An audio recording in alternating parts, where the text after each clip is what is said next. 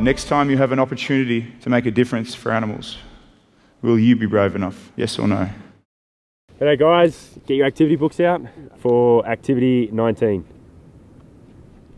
And so in 2009, I packed up everything in Australia and headed off to Africa. I literally left home with only a carry-on bag and a set of boots. And setting up in Zimbabwe, I quickly saw the extent of the problem and I realised it wasn't something I could solve by myself.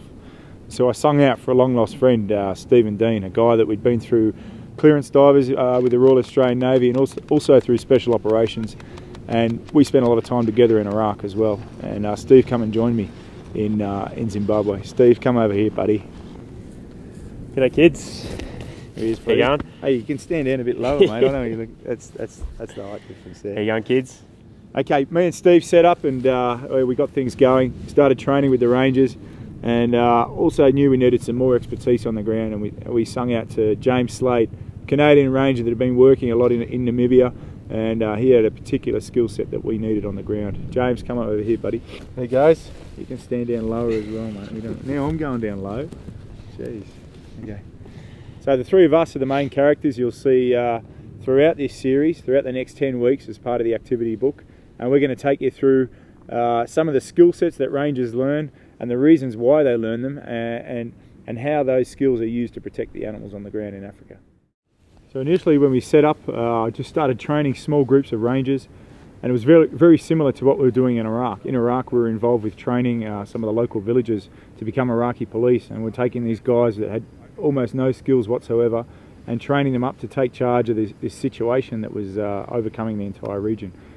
And uh, when I got to Africa, I saw exactly the same thing was going on. We had all these people in villages surrounding these protected areas where the animals live, and they didn't know how to protect them properly. And what we realised is that unfortunately, uh, you need a, a, military approach to protecting these animals. When you've got poachers that are moving in and using these uh, military tactics and weapons like AK-47s and axes and spears, you can't go out there without having the right skill set uh, to defend these animals. And so we started using uh, quite a military approach to what we do, and we don't we don't hide behind anything. And we are an organisation that has military solutions for conservation.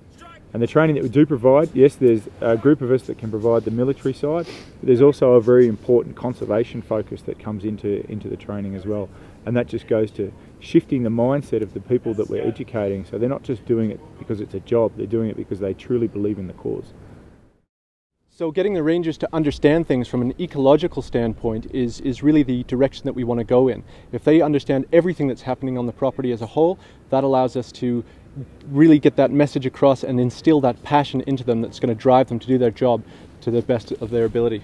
Unless, unless the, the rangers and the communities that live on the in the surrounding areas of these uh, protected areas, unless they truly understand the value of wildlife, they're not going to have any reason to protect it or try and look after it. Now in Africa, one in 13 people are employed in the tourism industry. Now if all of a sudden all the animals are getting poached and people aren't coming from overseas to spend time in these areas and appreciate nature and, and, and look at these these uh, key species like rhino and elephant and lion, unless they're coming out and looking at those animals, then the, the tourism dollar isn't coming into Africa.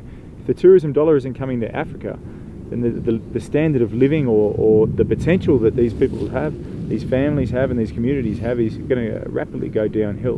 And that's what we want to protect. We want to make them understand that there's a there's a whole circle of, of life here, and they need to, you know, it all fits together like a jigsaw puzzle. And when one piece falls out, uh, the whole thing stops working.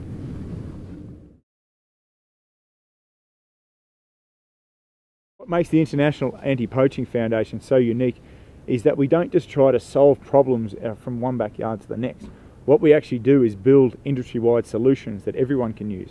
So rather than building something that works and keeping it to ourselves, we build something that works and make it available for the whole industry to use. Now at the moment, uh, we're going through the process of developing this international curriculum for rangers. And we've got uh, key rangers from 21 countries who are, who are involved with building this curriculum, all this training material. And I know you guys love learning, you love school, but so do our rangers. And that's what we're building. We're building all the tools that these guys need to be able to learn how to do their job in the best way possible. The IAPF is very special because we look at things from a very multifaceted approach. You have to look at why is poaching an issue, how is it happening, where is it happening, and target these things from very different angles. And coming from a military background, a conservation background, and all different sides, you can then get a better idea of what the problem is and you can bring in more solutions to solve that problem. So thanks very much for tuning in today, guys and girls. Your teacher's now going to take you through an activity which covers some of the topics that we've spoken about today.